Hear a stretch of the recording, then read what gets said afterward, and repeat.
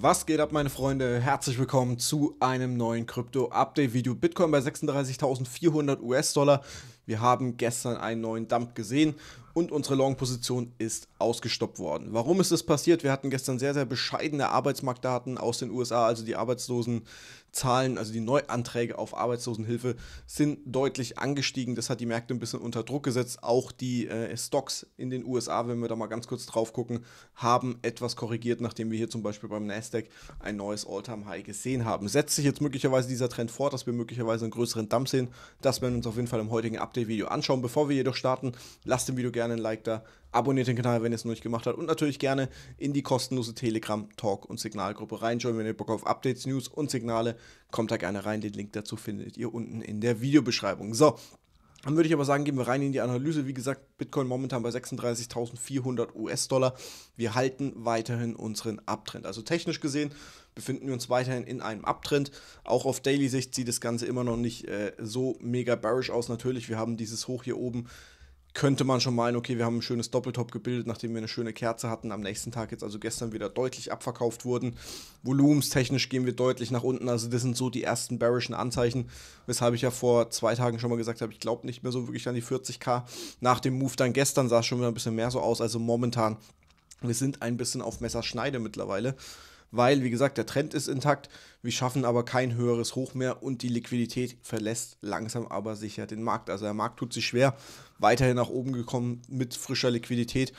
Meiner Meinung nach ist das Ganze sowieso etwas überspitzt. Es hat sich an der Gesamtlage weltwirtschaftlich kaum was geändert. Das Einzige, was die Kurse momentan einfach nach oben treibt, ist eben dieser komplette Pessimismus, den, weil jeder seit einem Jahr wahrscheinlich rumschreit, ja, Wirtschaftskrise kommt, es kommt der Mega-Crash etc. pp. Deshalb shorten alle in den Markt, deswegen äh, steigen auch die Kurse, weil die ganzen Shorter dann liquidiert werden. Das ist für mich momentan die einzige Erklärung, warum derzeit alles steigt. Wir Aktienmärkte mit neuen All-Time-Highs haben, obwohl wir massiv hohe Zinsen haben, die Arbeitsmarktdaten absolut bescheiden sind. Das ist das Einzige, wie ich mir das momentan irgendwie erklären kann. Ansonsten, wie gesagt, der Trend ist bei Bitcoin intakt. Also wir müssen uns noch keine Sorgen machen. Wir sind in der Spitze gestern auf 35.500 US-Dollar abverkauft worden. Also ganz, ganz knapp hier weiterhin diesen Abtrend getestet. Kein tieferes Tief. Wir bilden weiterhin höhere Hochs und das ist das Wichtige auf Schlusskursbasis. Auf 4-Stunden-Basis hatten wir hier oben diesen Wick bei 38k. Dann konnten wir zuletzt bei ungefähr 37.900 US-Dollar schließen, auch mit einem 4-Stunden-Close. Das heißt, technisch gesehen haben wir auch hier ein höheres Hoch gesehen und wir bilden höhere Tiefs. Das heißt, noch müssen wir uns keine Gedanken machen. Jetzt haben wir heute Freitag, Wochenende steht vor der Tür, also man sollte aufpassen, dass man jetzt nicht mehr unbedingt hier in irgendwelche Long-Positionen reingeht. Ich sage nochmal gestern dazu, die Position gestern, die Idee war, das Psy Low als Support zu testen, unseren Vektor zu füllen und dadurch im Endeffekt den Stop-Loss unter das Golden Pocket zu legen, damit diese Position dann nach oben hin den Trend weiterhin fortsetzt. Diese Position wurde dann ausgestoppt, weil eben, wenn wir mal ganz kurz in den 1-Stunden-Timeframe reingehen, die Vektor-Candles mal ganz kurz anmachen, wenn es lädt, ist Wurst. Auf jeden Fall, das hier oben war die Vektor-Candle wir sind da einfach komplett durchgeballert ohne Sinn und Verstand. Und das war das, was ich vor ein paar Tagen schon mal gesagt habe. Also vor genauer gesagt zwei, drei Tagen hier am 14. Äh, November, wo es exorbitant schnell nach unten hinging, weil momentan der Markt sehr, sehr wenig Liquidität hat. Wir steigen meistens, und das sehen wir, äh, da könnt ihr jeden Volumenchart einfach angucken, wir steigen meistens, weil kein Volumen in dem Markt ist, sondern weil wir die ganzen Shorter immer wieder ausstoppen und dadurch der Kurs steigt oder Spot-Aufträge kommen. Aber so eine wirklich nachhaltige Bewegung sehe ich da ehrlich gesagt immer noch nicht. Da müssen wir erstmal komplett durch 40k schießen und dann Richtung 50k und dann eine komplette Korrektur sehen, damit ich diesen ganzen Mist hier wirklich glaube. Aber momentan bin ich einfach immer noch zu skeptisch. Kurzfristig wird es jetzt heute im Laufe des Tages interessant, wenn wir uns das FIP-Level ziehen, von unserem High bei knapp 38.000 bis zu unserem Tief bei 35.500 US-Dollar. Wie reagieren wir hier oben an der 37k-Marke? Auch in den letzten Tagen hier immer wieder signifikanter Widerstand gewesen, wo wir es nicht wirklich mit einem Candle Close drüber geschafft haben, bis auf dieses in Anführungszeichen Fake-Out, was wir da jetzt eben hier hatten vor, äh, also vorgestern. Könnte sehr interessant werden, sollten wir hier nämlich zurückgewiesen werden und nicht drüber kommen sieht es eindeutig danach aus, dass wir hier auf jeden Fall nochmal abverkauft werden. Also ich traue dieser ganzen Bewegung derzeit noch nicht, außer es kommt doch noch irgendwie eine ETF-Zulassung, aber der Zug ist jetzt erstmal abgefahren. Natürlich auch ein bearischeres Umfeld, weil jeder mit einem ETF wieder gerechnet hat, jetzt kommt er doch nicht. Also, keine Ahnung, ich würde es auf jeden Fall momentan eher ein bisschen auf die bearische Seite derzeit einfach ein bisschen legen. Das wäre eine kleine Short-Option, muss ich mir aber dann überlegen, nachdem die ganze Woche schon extrem scheiße war. So fair muss ich auch sein. Äh, was auch äh, Aktienindizes ist, wenn wir uns morgen dann im Wochenausblick nochmal ein bisschen genauer angucken. Aber äh, Short heute nicht mehr aufbiegen und brechen, auf keinen Fall.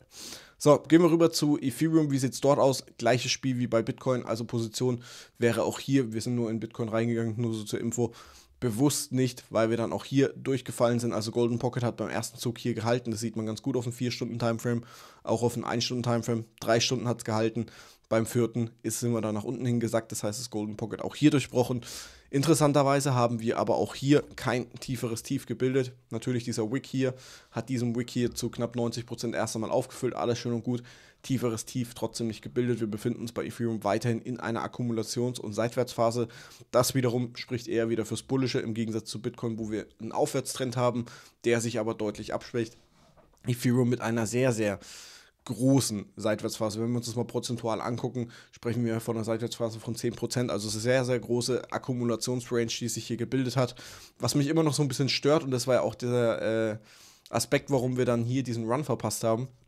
Dieser Wick und diese Ineffizienz plus Vector Candle sind eben hier noch nicht gefüllt. Das heißt, ich gehe grundsätzlich erstmal davon aus, dass wir diesen Bereich hier einfach nochmal in den, entweder heute noch im Laufe des Tages sehen oder in den nächsten Tagen und dann versuchen nochmal nach oben hin die Liquidität aufzusammeln. Ansonsten sollte das heute nicht der Fall sein, dass wir äh, hier runtergehen. Dann äh, gehe ich eher davon aus, FIP-Level bis zu unserem Tief jetzt gerade mal ziehen, dass wir hier auch die Marke von knapp 2037 bis 2030 hier irgendwo in diesem Bereich auf jeden Fall nochmal testen sollten. Auch hier, vergangenheitsmäßig auf der 1-Stunden-Time-Basis sehen wir auch Support gewesen, dann gnadenlos drunter gefallen, dann hier Probleme gehabt, drüber zu kommen. Also macht sehr, sehr viel Sinn, dass wir hier möglicherweise im Laufe des Tages nochmal hinsteigen und dann einen Abverkauf sehen. Sollten wir dann hier wirklich drunter fallen unter die Marke von sogar 1900 US-Dollar, sehe ich hier ehrlich gesagt schwarz. Das wäre jetzt die letzte Möglichkeit, hier nochmal die Liquidität aufzuschnappen und dann nach oben hin durchzubrechen. Gerne mal eure Meinung in die Kommentare schreiben. Was sagt ihr dazu oder was haltet ihr davon? Momentan sagt ihr, diese ganze Bewegung ist absoluter Bullshit, wovon ich immer mehr ein bisschen ausgehe.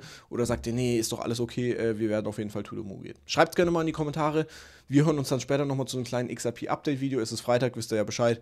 Und ja, ansonsten Like da lassen, Abo da lassen, Telegram-Gruppe joinen. Und ja, wir hören uns dann später nochmal. Bis dahin, ciao, ciao. Und wie immer, stay cool.